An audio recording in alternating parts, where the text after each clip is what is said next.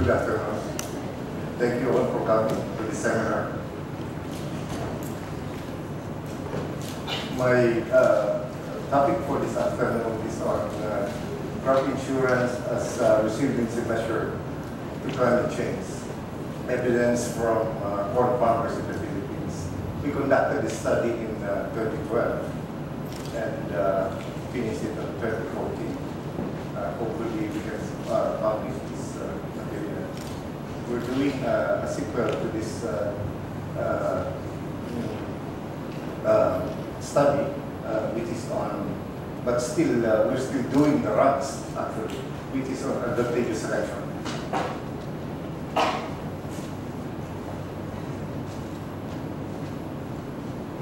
Uh, uh, by way of introduction, we all know that agricultural production is a very risky business. And farmers are faced with uh, various risks, and this includes uh, natural calamities such as floods, drought, uh, input risks, and also market-related risks, changes in prices, and so on. But among these risks, uh, natural hazards or the we- weather-related events are more the more difficult to control, but some mitigating measures are already available. You all know that uh, there has been changes on our uh, uh, climatic events, and this has uh, probably would observe, and studies have shown that extreme climatic events are becoming more prominent and frequent nowadays, especially at the start of 2010. And you all know Yolanda, uh, Typhoon Yolanda.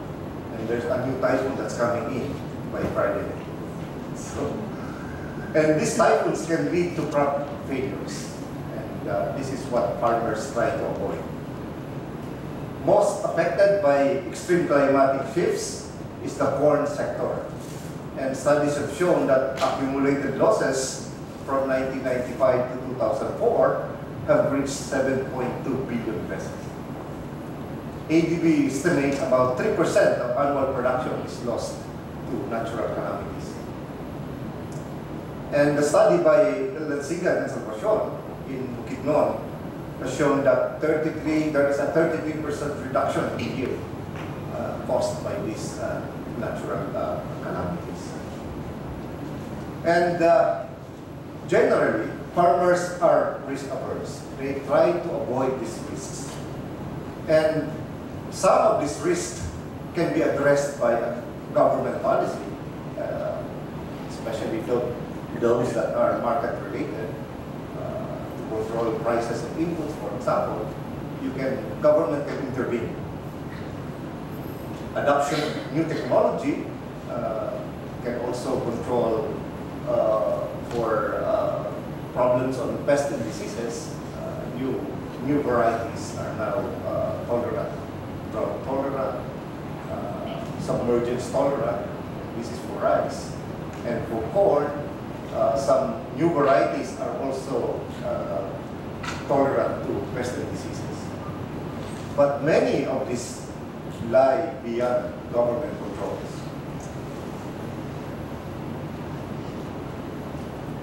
Now, the question now is how can we make corn farmers more resilient? First, we offset risks by compensating farmers during bad years. And how can we do that? We offer crop insurance. Okay? And crop insurance in the Philippines is being administered by PCIC, which was created in 1978 and the the purpose of which is mainly to provide the protection for farmers against losses. Second is to adopt good agricultural practices. We call it GAP. And uh, the concept of GAP evolved at FAO in 2002. Now it is adopted in principle by many countries as an approach to develop sustainable agricultural production system even with changing environment. Now we have GAP uh, in the Philippines. There is now a GAP recommended uh, package for rice, which is Palay check for uh, coming from uh, uh, rice. And for corn, there is also a GAP recommended package, good agricultural practice. Check the website of the Department of Agriculture. You will see the GAP recommendation. But at present, little is known on why farmers insure and or adopt good agricultural practices and what factors can possibly influence adoption. So the objectives of our study was uh, essentially to identify existing gap technologies related to pest and disease, climate change resilience in corn production, evaluate psychological, socioeconomic, and demographic determinants of insurance and gap adoption, assess the perception level and level of awareness on corn insurance and gap among corn farmers, and uh, identify appropriate intervention measures to improve adoption of GAP and the formulation and effectiveness of the corn insurance program. Just to give you a brief idea on what is the corn insurance program in the Philippines, it was, uh, uh, PCIC was created in 1978. I think uh, the corn insurance program came out in 1979 or 1980. There are two types of cover being offered by the Philippine uh, uh, Crop Insurance Corporation. This is the multi-risk cover and the natural disaster cover. Natural disaster cover uh, covers for uh, natural calamities, you know, drought, uh, floods, uh, earthquake, etc., typhoons. The multi-risk cover includes natural disaster plus pest and disease damage. Okay? So we just add pest and disease damage to the natural disaster cover.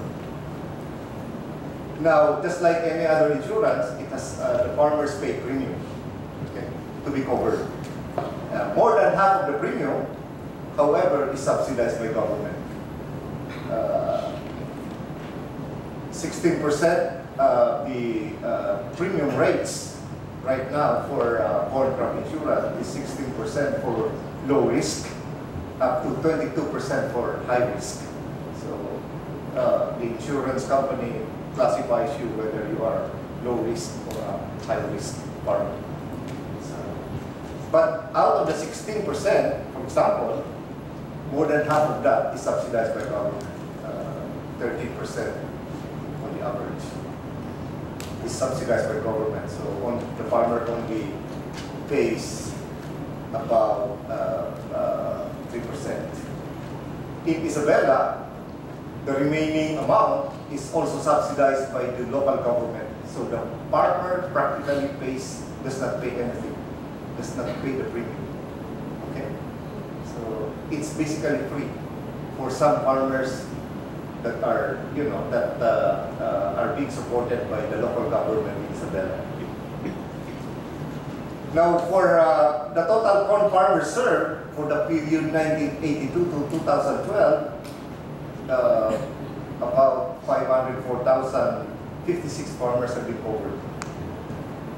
And at its peak in 1990, it served more than 40,000 corn farmers just for one year.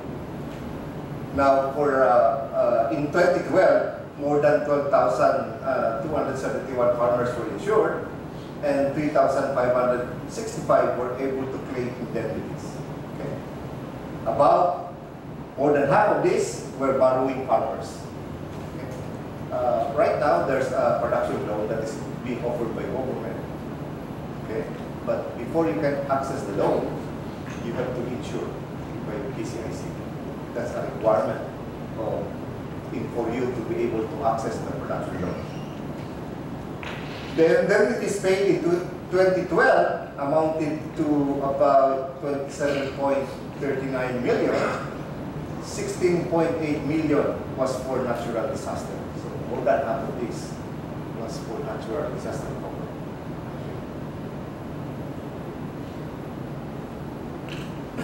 Now for uh, the analysis in the study, uh, we have these estimation methods and empirical approach.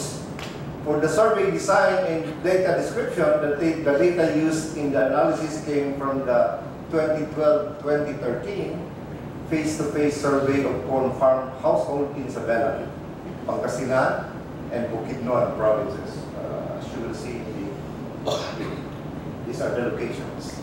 These are the uh, major uh, areas, corn areas also, and at the same time, major uh, insurance subscribers for, on uh, corn insurance in the country.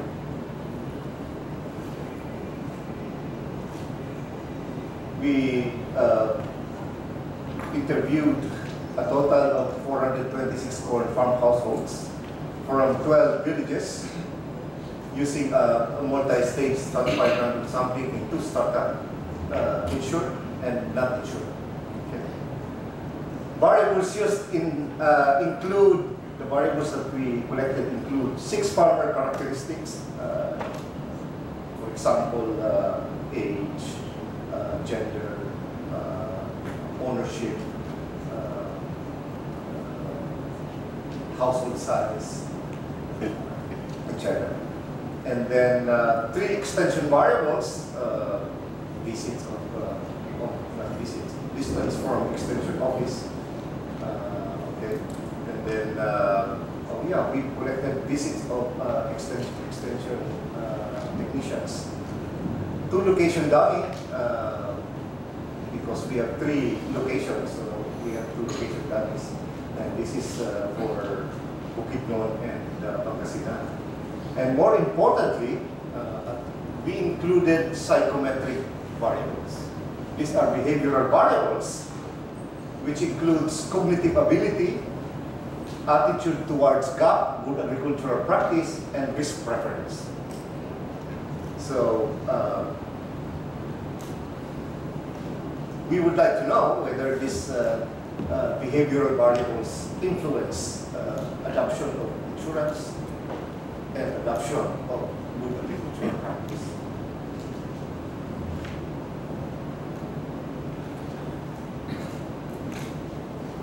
For we, in order for us to piece out the effect of these variables on uh, adoption, probability of adoption, uh, we use a probability regression model. Okay. Uh, the right hand side, as I told you, we have uh, several variables covariates, uh, behavioral variables, uh, institutional variables, etc. And for for uh, since uh, for the adoptions, since uh, the left-hand side or the dependent variables are, is no longer continuous, just like uh, unlike uh, the determinants for insurance adoption, uh, we have positive numbers, few positive numbers plus zero. The most appropriate model to use is the Poisson, Poisson regression? Where GAP is a count data from 0 to 11. This is the number of uh, good agricultural practice being adopted by uh, the farmer. Okay, the results uh, in table one, you will see that pest and diseases and drought were the major hazard crop production. And uh, farmers try to adopt measures to mitigate this risk. Uh, you will see here, oops,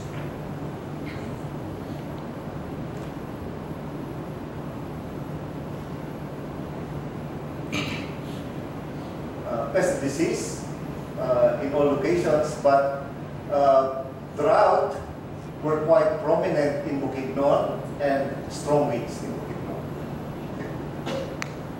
So basically the, uh, the, the risks they face uh, were uh, pest and diseases and drought and typhoon. Now for farmers' strategies uh, to manage risk of drought failure, uh, they strongly agree of using uh,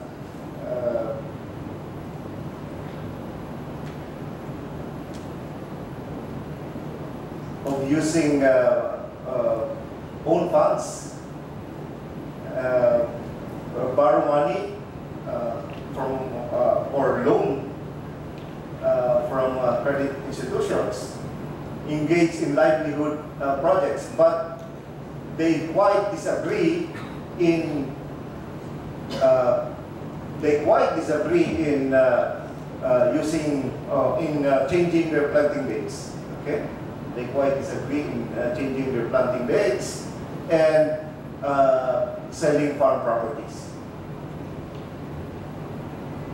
They also uh, uh, one strategy is to buy insurance, uh, buy crop insurance, as shown here.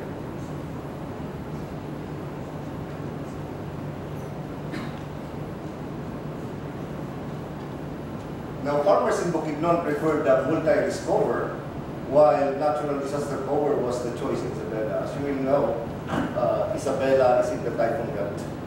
So most farmers would prefer the natural calamity uh, product or the big enough. And uh,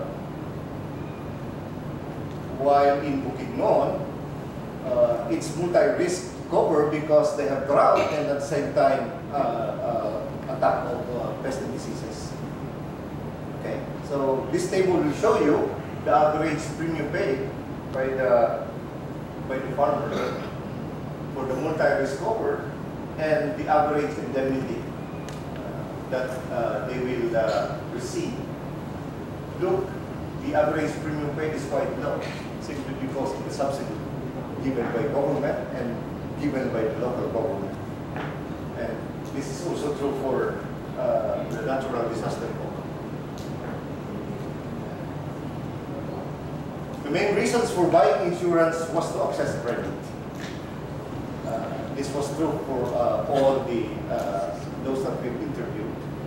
Uh, those accessing, uh, uh, those who bought insurance were all accessing credit, except for eight farmers. They were self-financed. Okay.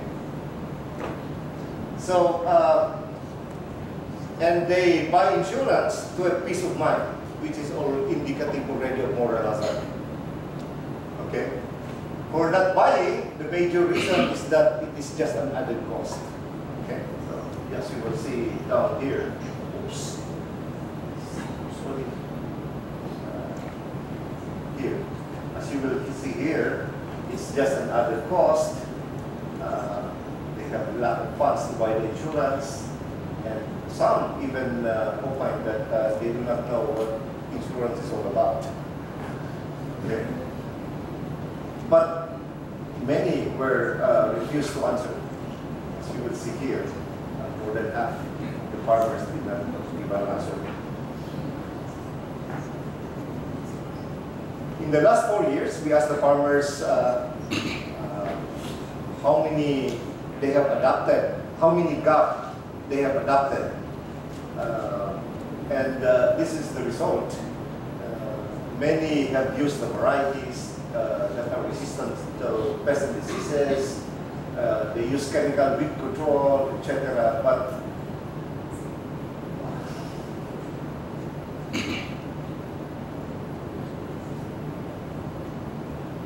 But uh, uh, use of IPA methods was not frequently used by the farmer. This is the good agricultural practice that is being recommended by the Department of Agriculture. As you will know, for natural calamity, I think uh, the good agricultural practice here that they can uh, follow is uh, crop rotation and uh, change in uh, planting planting date. Planting date is not here. Actually, we don't have that. Which is uh, which uh, we ask farmers if they're willing to change their planting date, but they do not. Many uh, said that they would not want to change their planting date. Why? Because if you change your planting date, all the pests and diseases will be on you if you are late or advanced. Now, uh, for the regression, uh, probit regression, uh, five factors significantly influence corn insurance adoption. As you will see in this table, age, younger, younger uh, farmers are adopting okay? Assumed by the margin, uh, by the uh, uh, marginal effects, negative marginal effects here. Uh, marginal effects is just like elasticity. So, a one unit change in any of these variable will change the probability of reduction by that much. Okay? So credit was also significant and it's positive simply because uh, the insurance was attached to the credit. Okay? You need you need to have insurance in order to access the loan. Distance to market was negative and significant. Oops. And uh, but membership to farmers organization was positive, and uh, simply because uh, uh, PCIC was talking in some areas to organizations and then uh, uh, to sell their products. GAP score was also significant. Uh, and negative, meaning if you buy insurance, they reduce their good agricultural practice, which is also indicative of moral hazard. Okay?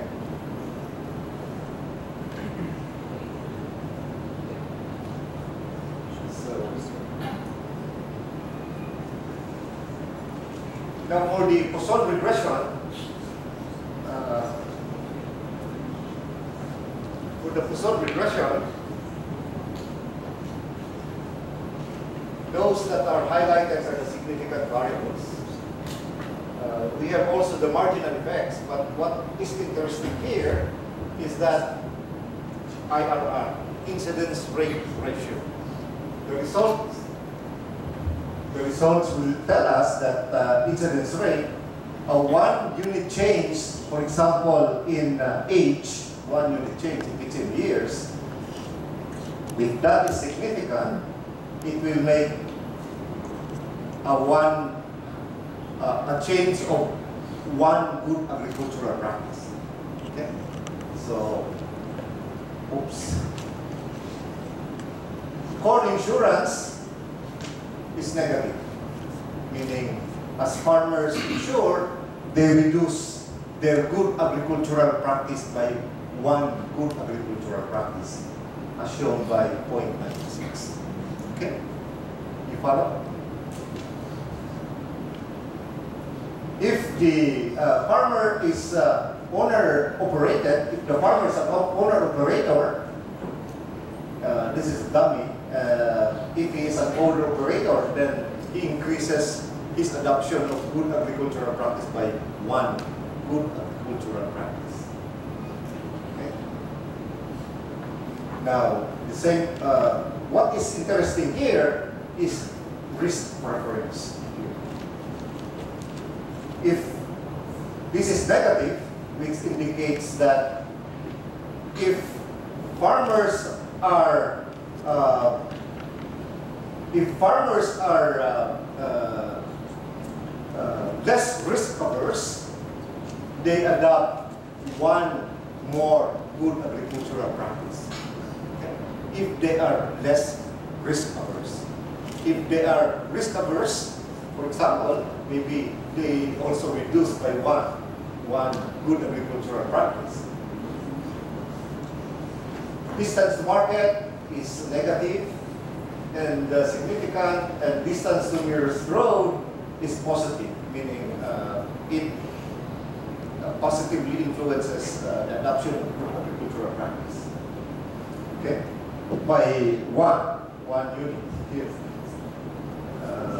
And so on. Uh, this one, D2 is Bukidnon, meaning farmers in Bukidnon are more likely to adopt one additional good agricultural practice.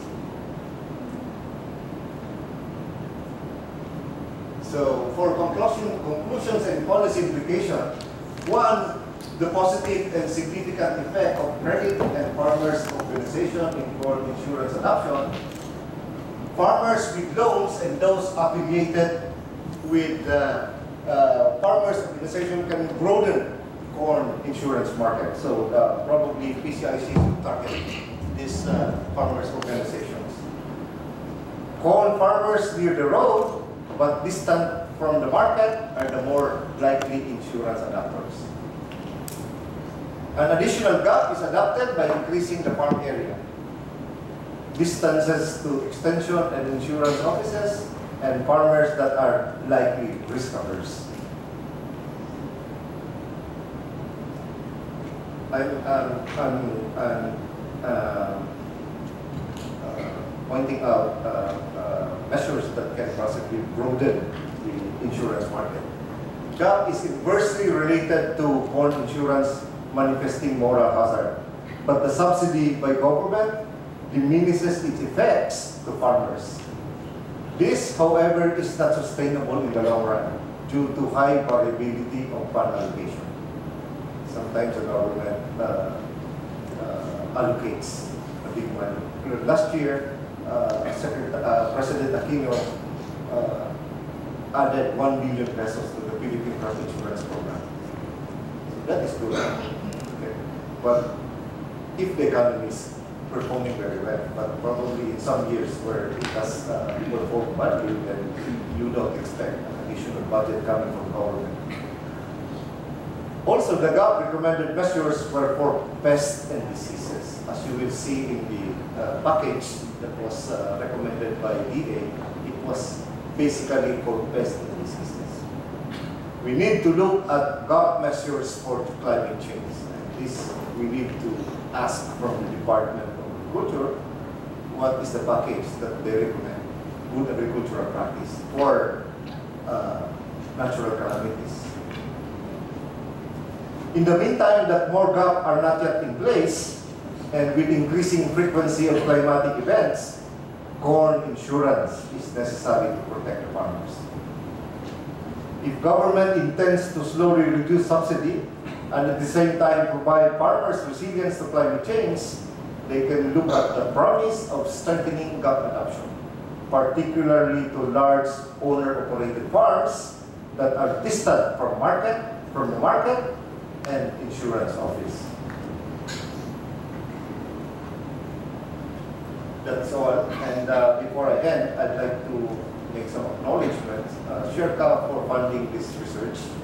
Uh, Dr. Sabingit Bulgason Sevilla. For, for PCIC, who, who helped us in uh, the data collection, Mr. Kapukong and the regional managers of our study areas, uh, in our study areas municipal extension workers and barangay captains in the sun sites. Uh, Karen Pilloy, who was uh, for providing us research assistance, research assistance in the early phase of the study. By the way, my co-author uh, is here, uh.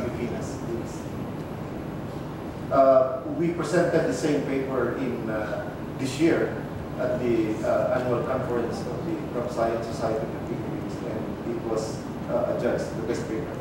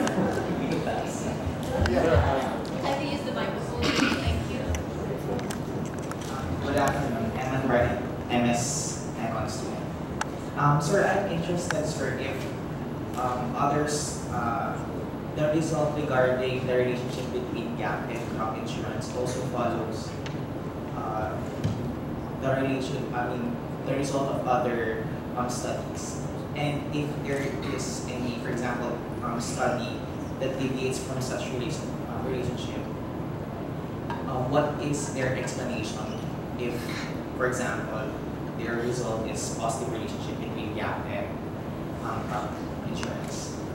Thank you.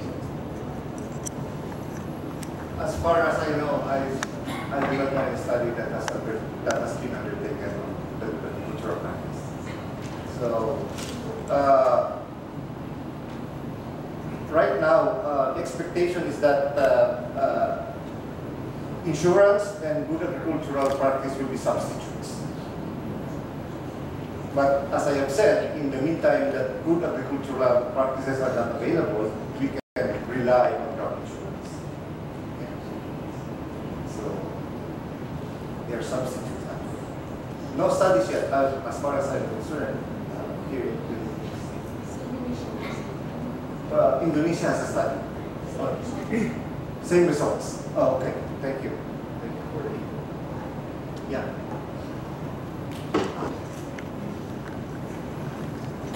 So thank you very much for the presentation, and I think you really sort of touched on the problem with this multiple peril crop insurance, the biggest thing being moral hazard, yes? So along with that, you have adverse selection, also you have problems with the costs going up because you have to actually go to see the indemnity in the field. Uh-huh. So especially, let's say you have to go through Manila traffic, well, you know, your adjuster loses three hours there already. So the point is that these programs are quite expensive, the MPCI programs.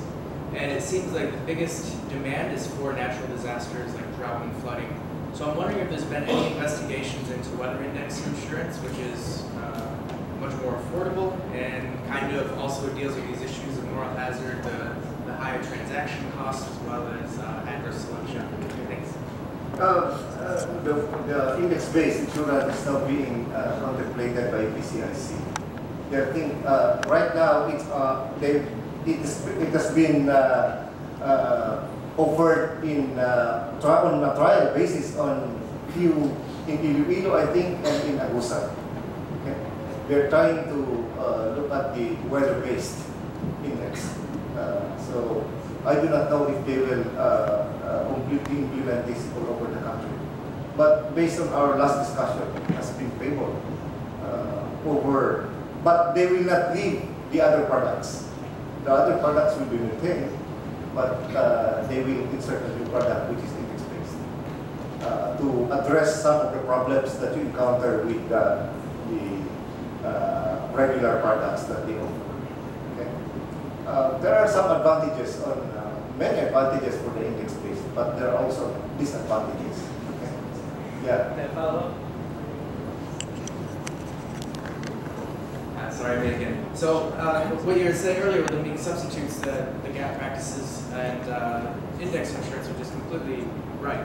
Uh, so my question is too, is if you can require that farmers go through the, the GAP practice training, a training program, for example, in order to access insurance, much like, you know, you have to have insurance to access credit. And you think that that would have a more positive effect, uh, effect because now you have farmers with the, the knowledge to manage the, the pests and disease and other risks that aren't related to weather, and they also have some protection against natural events. Oh, actually, PCIC is doing that. They are uh, doing uh, training programs whenever, wherever they go. They support training programs uh, together with the Department of Agriculture. Uh, and I think one component of this is the one component of the program is the good agricultural practice.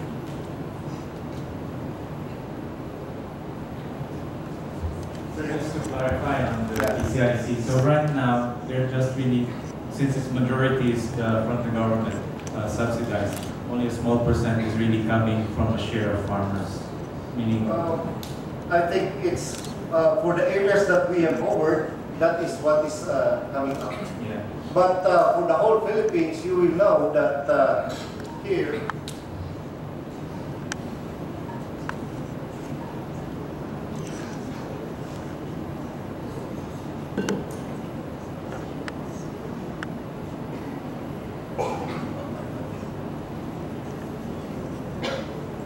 here, uh,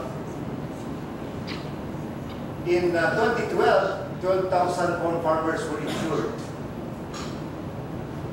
But 6,000 of these were borrowing, meaning the rest are self-paying farmers. Okay? So more than half, maybe 60%, but about uh, 30% to 40% are self-financed, meaning they're not covered by subsidy. They're not covered by the subsidy at all. Okay. Yeah. Afternoon, sirs. Uh, my name is come from Vietnam. I am a PhD, uh, PhD student in agricultural economics.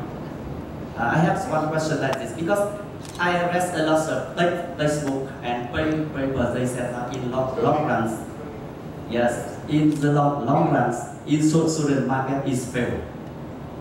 Yes, insurance mar- market in uh, agricultural sector is fail because agricultural sector is very high ri- risky. Okay. So how we can apply insurance ma- markets for the long, long run as the uh, adaptation strategy for climate change? Because in the long run, it will be fail.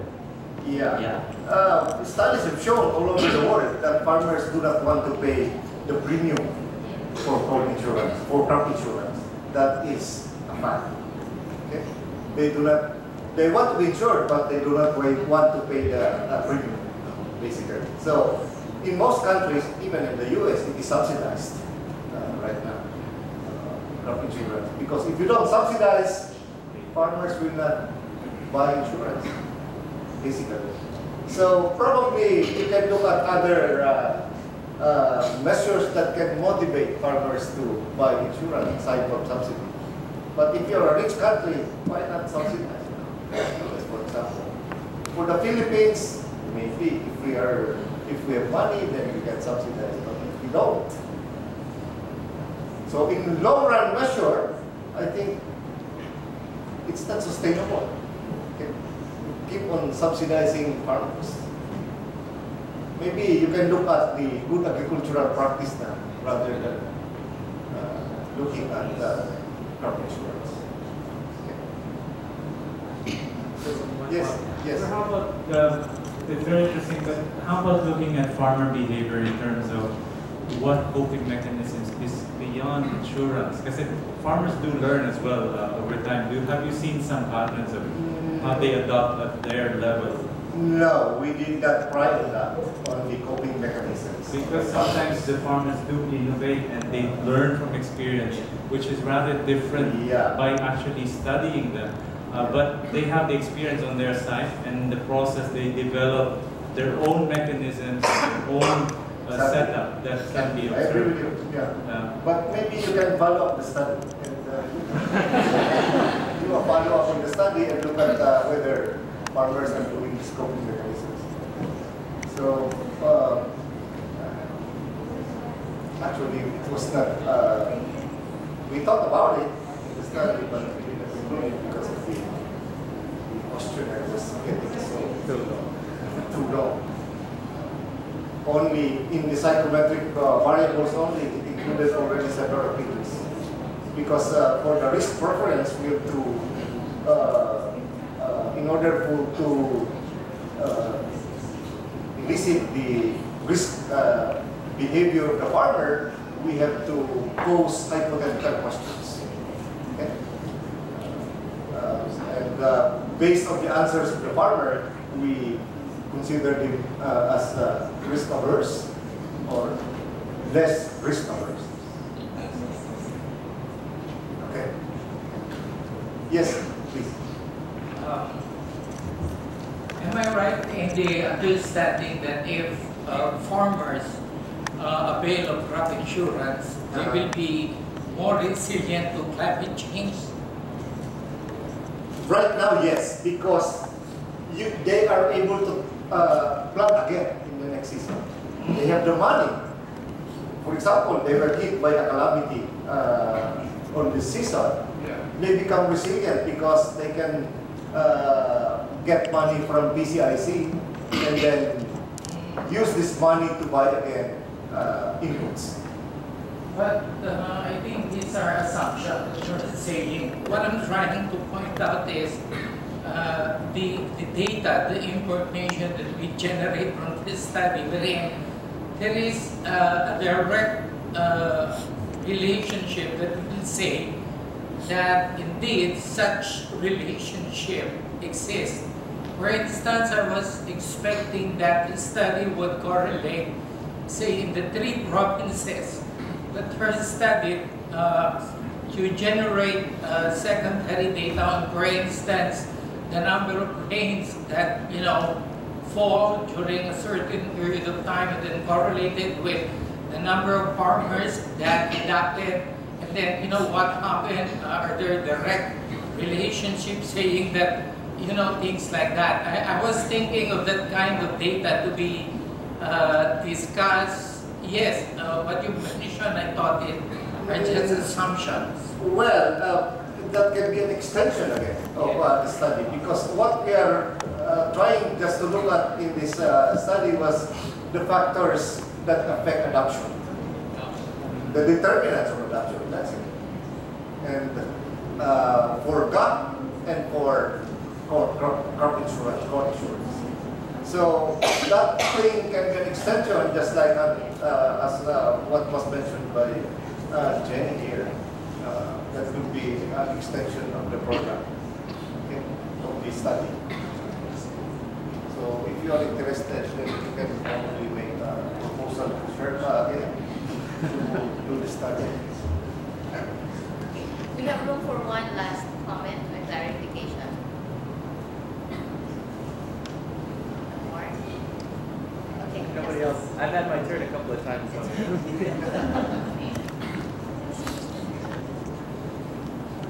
So. Kind of following up uh, with this comment, well maybe if you don't mind, I can say that there, there is a lot of research on this topic and I'd say that agricultural insurance certainly increases resiliency because what happens next is you will either consume savings if you have it, you'll take a bank loan if you have it, if if you have the, the access to credit, or the most, um, the, the worse off, what they end up doing is they sell their means of, of production.